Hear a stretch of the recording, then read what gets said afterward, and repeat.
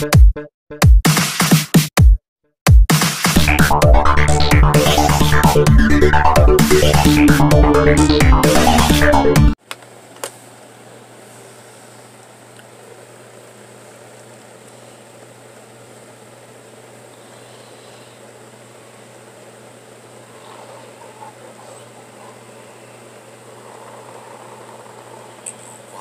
dreams at night.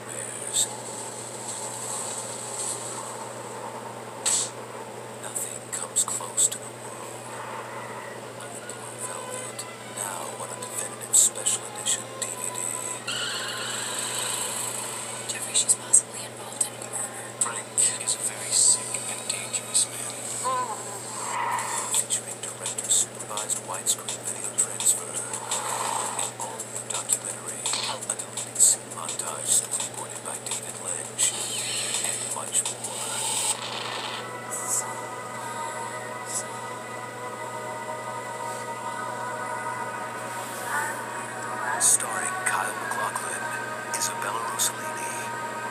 And Laura Dern. It's a strange world, Sandy. David Lynch's haunting masterpiece, Blue Velvet, owned on special